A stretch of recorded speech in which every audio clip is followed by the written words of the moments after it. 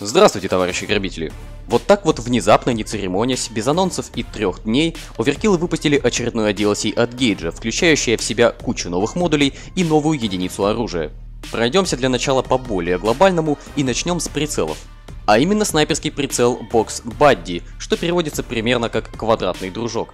По большому счету, он является копией оптического прицела Тея, то есть обладает дальнометром и автоматически помечает врагов. Однако помимо внешних отличий, он обладает необычной прямоугольной оптической линзой. И если вам это кажется удобным, то соответственно это единственная причина приобретения прицела. Следующее нововведение – это угловой коллиматор, аналогичный угловому прицелу, но значительно более удобный в использовании. Но самое главное, что этот угловичок можно поставить на любое оружие из основного слота. Естественно, это касается только тех пушек, на которые можно поставить основной прицел. Прицел Reconnaissance или разведчик доступен вместе со всеми остальными прицелами, дает увеличение на уровне военного коллиматорного прицела и обладает дальнометром. Сам дальнометр, конечно, бесполезен, но вот поле зрения у прицела довольно удобное. Для сайги полое цевье, добавляющее 4 балла скрытности, и короткий ствол, добавляющий 4 балла скрытности и убавляющий по 4 балла точности и стабильности. А еще он имеет прорисованную планку. Также для всех дробовиков был добавлен горизонтальный чок Дональда, в честь сами понимаете кого. По статам как акульи зубы, но без убавления точности, а его фишка в том, что он уменьшает вертикальный разброс. То есть, грубо говоря, вся ваша дробь будет лететь в горизонтальной линии, и таким образом вам будет проще вынести нескольких противников, находящихся на одной вертикали. Для JP36 было добавлено длинное цевье, плюс 8 точности, 4 стабильности и минус 3 скрытности, а также так называемый оригинальный прицел, который полностью заменяет планку Пикатини на оригинальную от таковой UG36 вместе с ее огромным коллиматорным прицелом, который очень неудобно использовать. И он, к слову, в отличие от остальных, не отнимает скрытность. Для Compact 5 добавлен приклад на плюс 4 стабильности и цевье со встроенным фонариком, плюс 4 точности, плюс 4 стабильности и минус 2 скрытности. Для интерцептора и кросскилла добавлены новые большие магазины. Они добавляют по 8 баллов стабильности, а также вдвое больший бонус к емкости магазина. Но оба выглядят абсолютно отвратительно. А также позволили устанавливать большой магазин в Chimano 88 и Chimano Compact. Ну а самое интересное я оставил напоследок. Это так называемый speed pool, то бишь э, скоростной зацеп. Такие спидпулы нашлепываются на магазин и предназначены для того, чтобы можно было более быстро и удобно вытянуть его из-под сумка, а также более-менее безопасно ронять на твердую поверхность. В нашем же случае установка спидпула дает вам обычную емкость магазина, не прибавляет стабильности, но увеличивает скорость перезарядки в два раза – и этот модуль действительно привносит интересный баланс против 60-зарядного так называемого квадстака, поскольку теперь у вас есть рациональный выбор, либо иметь вдвое больший магазин, либо перезаряжать его вдвое быстрее. Доступен спидпул для огромного количества оружия. Все винтовки с магазинами АК, все винтовки с магазинами КАР-4, JP-36, UR, Кобус 90, Марк 10, Вереск и, соответственно, Акимба Вереск и Акимба Кренковый. Ну и, пожалуй, главное нововведение всего дополнения – это достаточно уникальный гранатомет Арбитр. Он реплицирует довольно интересный гранатомет XM25 из мира реального оружия, который все еще находится на стадии прототипа, и дальнейшее развитие и производство которого отложено на 2017 год. Интересен он тем, что выполнен он в компоновке Bullpup и работает по принципу газоотводной автоматики, а также вместо стандартных 40 мм гранат использует 25 мм, оттуда и название XM25. Что эта информация дает нам в Payday? А то, что благодаря своему необычному калибру он создает новый подкласс мелкокалиберных гранатометов. Он наносит 700 урона против 1300, как у остальных гранатометов, то есть почти в два раза меньше. У него 15 патронов в запасе, что в 2,5 раза больше, чем у его конкурента Чайна Пафа. Его скорострельность 80 выстрелов в минуту, что на треть больше, чем у Пиглета, который до этого момента был самым скорострельным гранатометом. А также это первый гранатомет с магазинным питанием.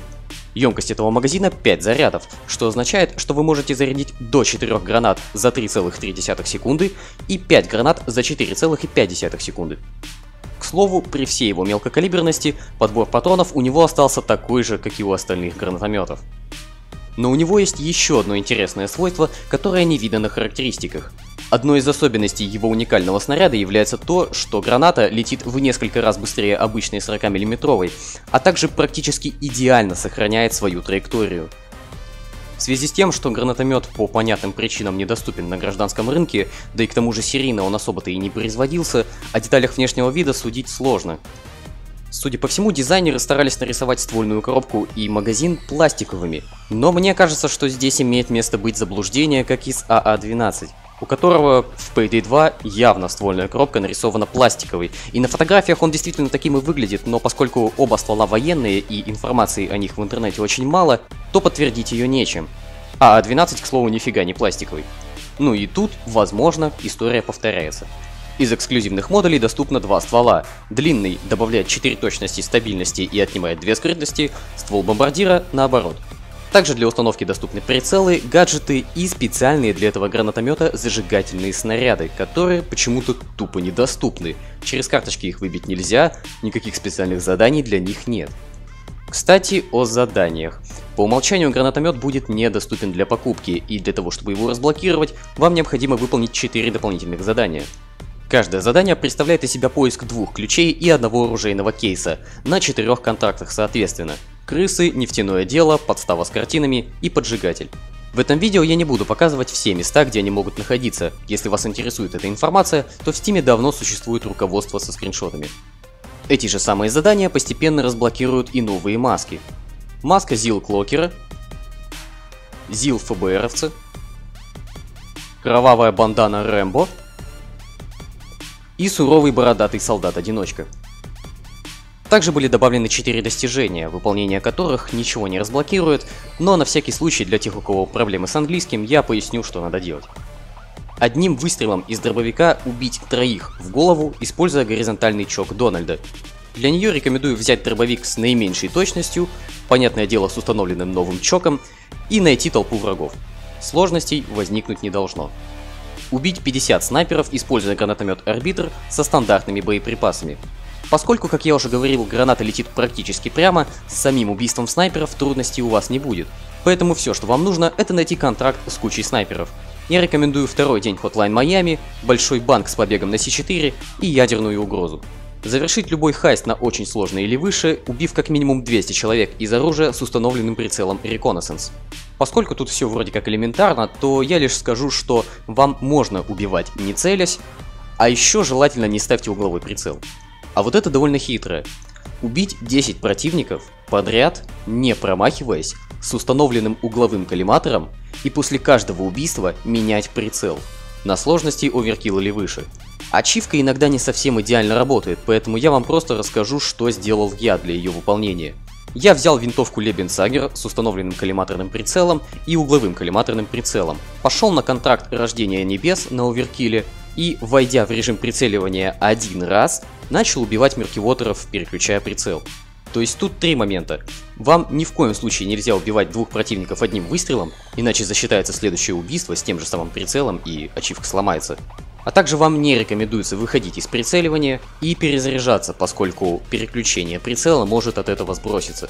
Ну и для того, чтобы было проще, берите оружие, которое ваншотит. Ну и на этом все. Надеюсь, смог доходчиво рассказать обо всем, о чем можно было, и сформировать решение о покупке. Не забывайте подписываться на канал и на группу ВКонтакте, чтобы не пропустить новые видео, а с вами был Droid Qs, всем всего!